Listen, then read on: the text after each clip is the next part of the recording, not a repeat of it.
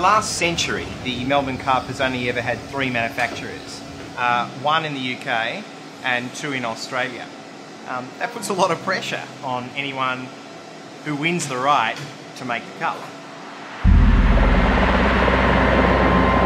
This is not just a cup, this is the Melbourne Cup. We have to get it right. The race that stops the nation. Everybody knows the Melbourne Cup. Over 150 years of history. This is the most important sporting event in Australia, and to be part of it was, you know, our dream. This is a story of Australian experts. Gold miners, refiners, metal fabricators, and jewelers, brought together by ABC Bullion, using modern technology and ancient skills to create one extraordinary trophy. The Emirates Melbourne Cup. The Melbourne Cup that is presented every year is a replica of the first Melbourne Cup. The replica has to be made within tolerances of tenths of millimetres.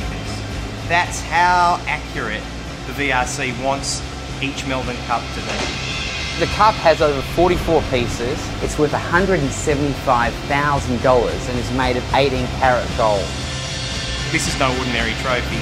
From a technical perspective, it's one of the hardest trophies that you can possibly make.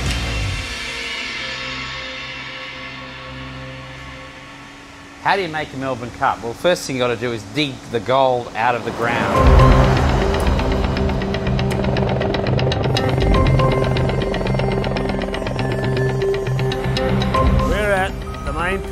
Lake Cowal Gold Mine, West Wyalong. An hour from the centre of New South Wales. The gold starts into the rock. The geologists see what grade they got, uh, and then explosives guys, I reckon, come along. They put their debt, their uh, nitrate in it. There's no one left in the pits. Shot fire goes down. He ties his shot in, ready to go, and then goes to the firing point, and then from there on, then he just presses the button, and away it goes.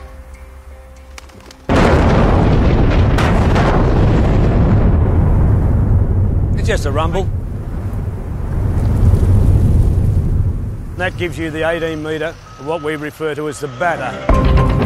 Then it's mined out with the diggers, carted up to the crusher by these trucks, crushed through the crusher, then goes into the processing plant where it's crushed again until it gets to 15 microns, which is the same as talcum powder.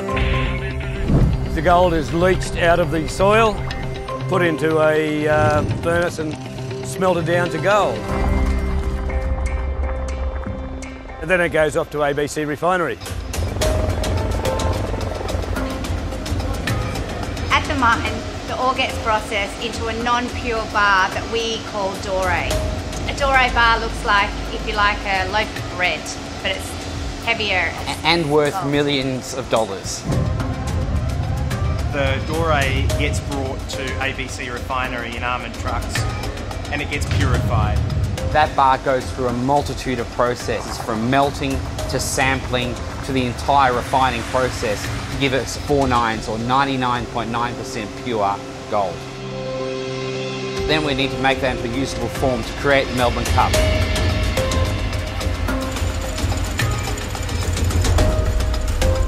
We're basically producing a block of gold about 12 millimetres thick that has to then be rolled to around one millimetre thick. To get down to that size, it's probably passed through the rolling mill 20, 25 times. A piece 280 millimetres is required. Now, in order to do that, our rolling mill is only 290 millimetres wide, so to get the piece of metal through the rollers, we've got around about five millimetres clearance. You're probably looking at around the forty to fifty thousand dollar mark for that sheet of gold, just just the main cup piece itself. At the end of the job, the cup has to weigh a certain weight, and we've got a 1% leeway basically either side. So all the thicknesses have to be perfect for when it reaches the trophy maker down the road.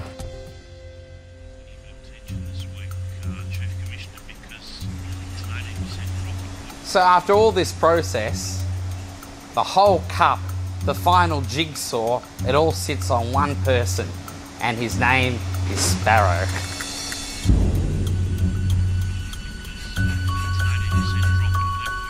Oh, I think I've been spinning for on and off for about 30 years. This is the hardest object I've had to spin. Melbourne Cup, most prestigious trophy in Australia.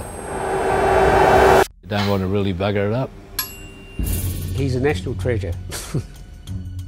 He's a spinner, and um, unfortunately, it's a pretty unique skill um, these days. But the nice thing about Sparrow is he likes passing it on to the young people. Thanks to the Melbourne Cup, we were able to um, employ young Craig, an apprentice um, who's learning the skills from Sparrow, so he'll carry on the tradition. Okay, well, this is your chuck. That screws onto a bolster. You drop your blank in there. You bring your centre up to that end with a holder that holds the blank. Put the weight on it, and then start spinning.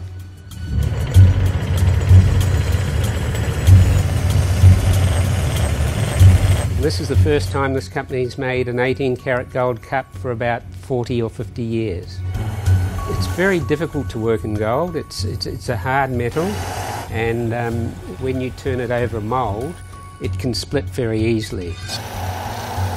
Within a second, you know, the metal could literally just pop out every which way, and you're back to square one, fabricating the metal again and, and going through the process.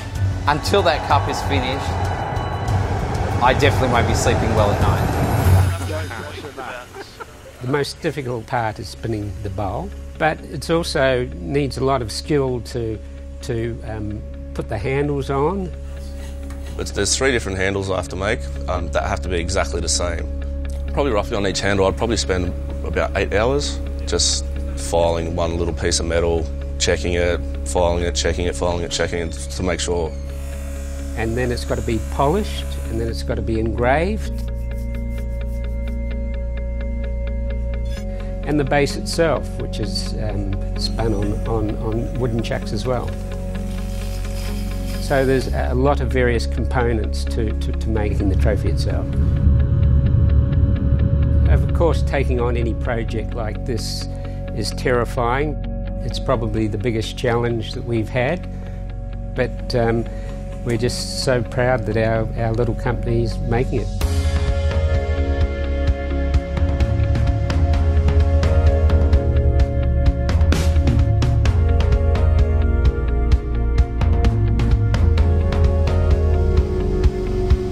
Big opportunity for us was to prove to the VRC and the Australian public that we could be entrusted to make the Melbourne Cup.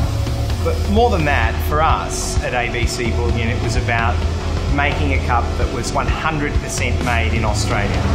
From the time that the doré is mined out of the ground to its refining in Australia, right through to the point where the jewelers construct the cup. It's going to be completely made in Australia, and it's amazing to have been part of that journey.